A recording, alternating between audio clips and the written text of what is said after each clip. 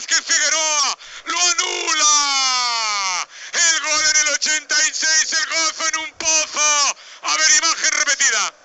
Corner. A ver, que tengo aquí la imagen. La va a golpear. No, no lo hay. Yo creo que no.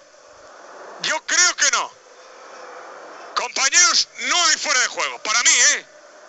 Sí, sí, sí, sí, sí. yo sí, creo que, medio, cuerpo. medio cuerpo. Medio cuerpo. Sí. Sí, sí, pues para que pero...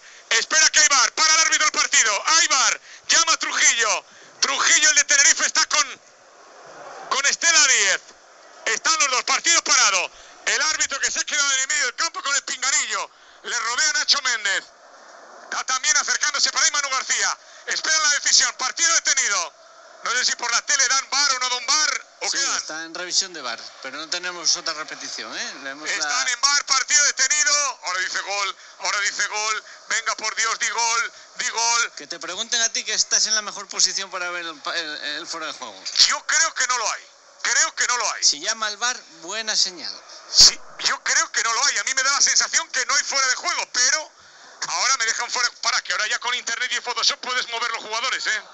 Así Pero no si vas de blanco, eso sí vas de blanco. sí. Espera que el árbitro está metiéndose, sacándose la cera del oído. Hay una nube de jugadores del Real Oviedo rodeando al árbitro.